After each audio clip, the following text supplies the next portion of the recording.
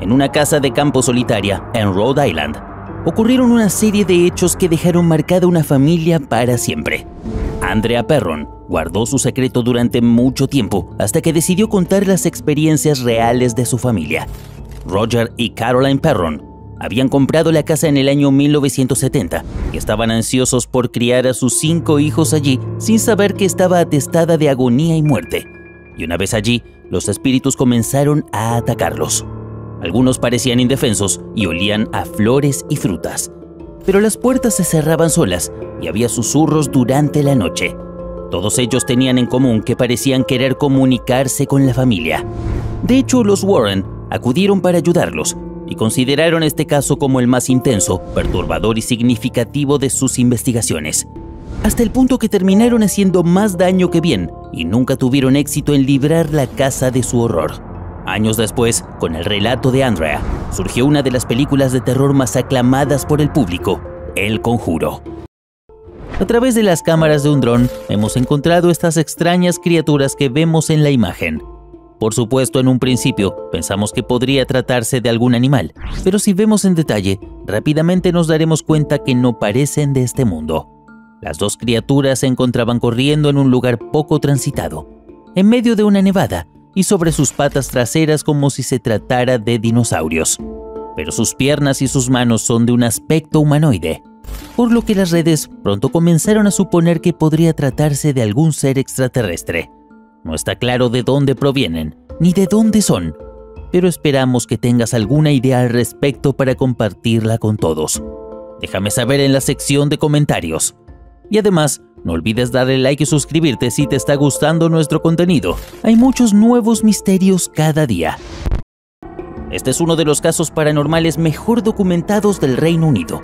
Durante 18 meses, comenzando en el verano de 1977, Peggy Hudson sus hijas y más de 30 testigos presenciales vieron y oyeron muebles en movimiento, objetos volando, ruidos inexplicables y hasta levitación.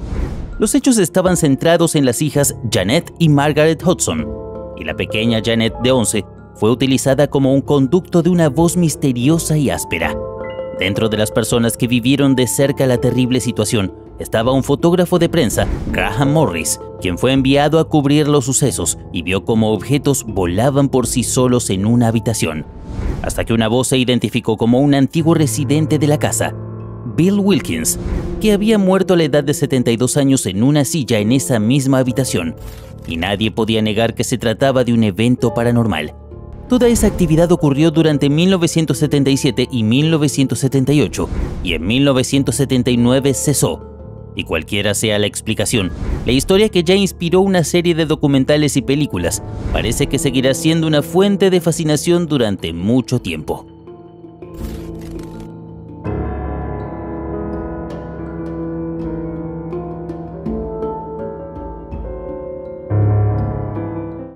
No sé qué pienses, pero desde hace unos años, las muñecas pasaron a ser objetos tiernos con los que juegan los niños, a espeluznantes centros paranormales como el que vemos en esta imagen. Fotografías como esta han estado surgiendo en las redes, asegurando que las muñecas podrían haber sufrido una transferencia espiritual demoníaca, o como quieras llamarlo. Lo cierto es que estarían habitadas por seres dispuestos a hacer mucho daño.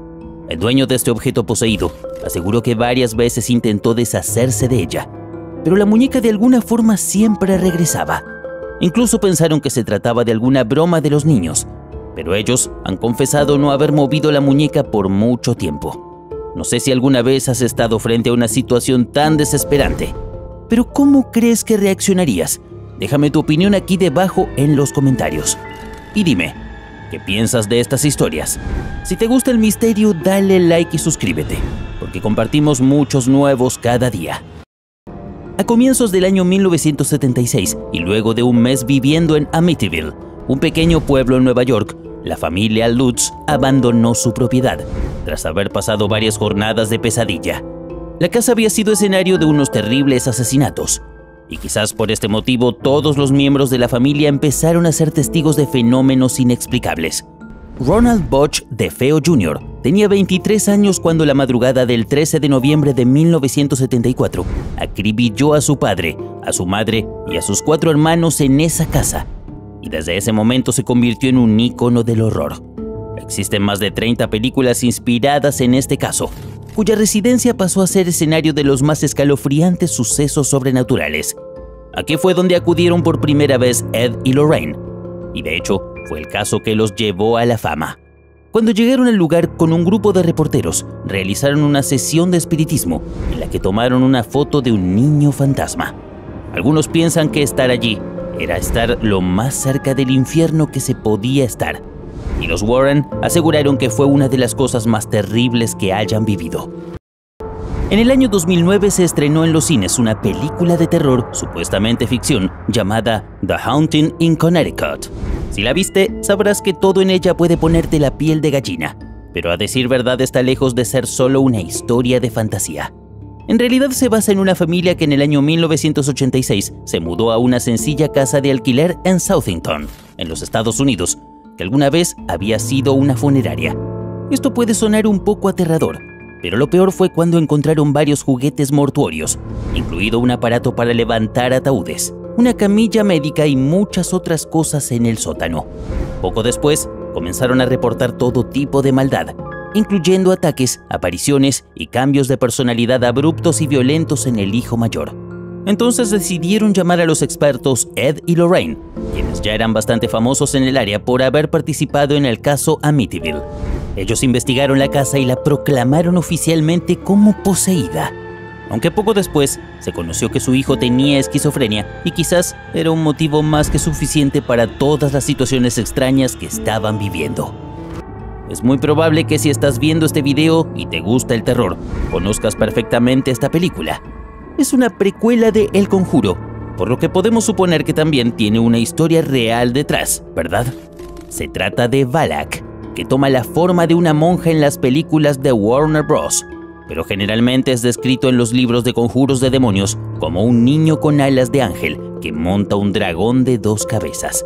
Sin embargo, Lorraine Warren tuvo una experiencia bastante traumática que, sin dudas, ha influenciado a que el cine coloque a Balak en el personaje de una monja. Lo cierto es que se basa en el exorcismo de Tanaku, un desafortunado caso de posesión registrado en 2005 y conocido mundialmente, porque acabó con la muerte de la monja Marichika Irina Cornici, víctima de los diferentes rituales aplicados por la iglesia, cuando los médicos en verdad diagnosticaron, entre otras cosas, esquizofrenia. Entonces, si bien no está basado en una sola historia puntual, sí guarda muchos elementos que los conectan, y no solo es original, sino también sumamente aterradora. ¿No lo crees? Por supuesto existe una película que volvió muy famosa esta muñeca, que llegó a la pantalla gigante en el año 2014. Pero, ¿acaso sabes cuál es la verdadera historia real de este objeto endemoniado? La leyenda indica que en 1970, Annabelle fue un regalo para una joven llamada Donna. Luego de recibir el obsequio de parte de su madre, comenzó a sospechar que había actividad paranormal en su casa. La muñeca se movía por las distintas habitaciones deliberadamente, Incluso le llegaron a aparecer notas anónimas con mensajes como ayúdanos. Y por eso acudió a un medium, quien le dijo que estaba poseída por el espíritu de una niña de 7 años llamada Annabelle Higgins, asesinada en el mismo lugar donde vivía su familia. Allí es donde aparecieron Ed y Lorraine Warren, dos famosos investigadores estadounidenses de fenómenos paranormales, quienes aseguraron que no era un espíritu, sino un terrible demonio.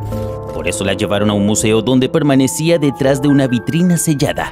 Pero recientemente, sí, esta es una muy mala noticia, desapareció y nadie sabe dónde está.